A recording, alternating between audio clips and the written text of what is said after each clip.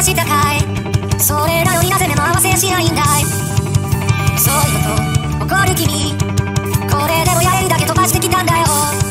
心が体を追い越してきたんだよ。君の髪が聞こえだけで濡れないだよ。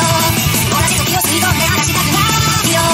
遥か昔から事務所の声に生まれて初めて何を言えばいい。君の点々点々から僕は君を探し始めたよ。その不器一な笑い